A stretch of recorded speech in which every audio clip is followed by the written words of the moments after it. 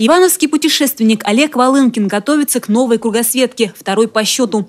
Напомним, в 2011 году на Чукотке завершилась трансарктическая экспедиция «Путь Ориона». Почти год Тримаран Русь находился в Анадыре. Путешествия по Северным морям наложили свой отпечаток на корабль, проделавший столь долгий путь. Остатки корабля, конечно, выглядели плачевно, особенно пневмобаллоны особенно палуба, э, наша рубка.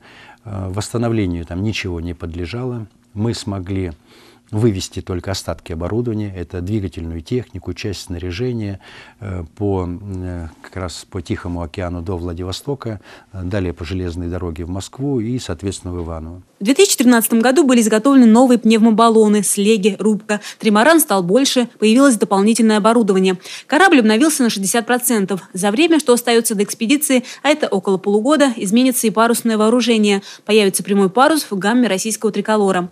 Капитан корабля Александр Александр Ливанов к известию о новой экспедиции отнесся с воодушевлением. Много еще осталось дел по, по, железкам, которые надо доводить до, до ума. С движком еще не очень в порядке, еще надо приобретать. Значит, время, время, а времени осталось всего полгода. Но я думаю, все будет нормально, успеем.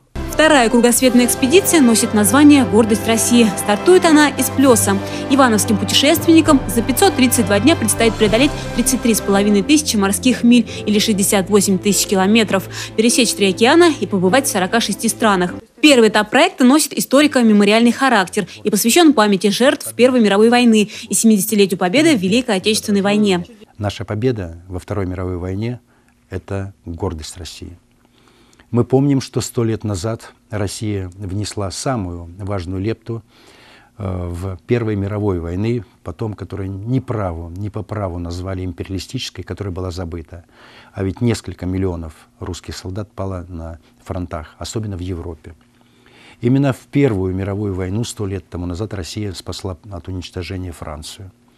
Мы гордимся, что это сделал русский народ – Второй этап экспедиции приурочен к 170-летию выдающегося русского мореплавателя, этнографа и географа Николая Миклуха-Маклая. Ивановцы планируют посетить Папуа-Новую Гвинею. Это так называемые берега Миклуха-Маклая. Папуасы чтят его, потому что много лет он пробыл там.